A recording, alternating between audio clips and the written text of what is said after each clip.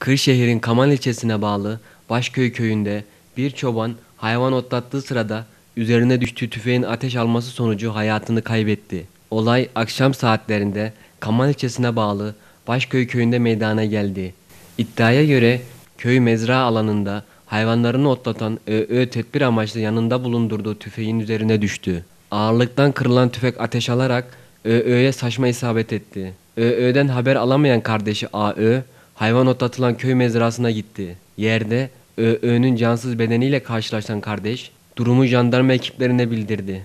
Olay yerine gelen ekiplerin yaptığı incelemenin ardından ÖÖ'nün cansız bedeni Kaman Devlet Hastanesi morguna kaldırıldı. Olay ile ilgili soruşturma başlatıldı.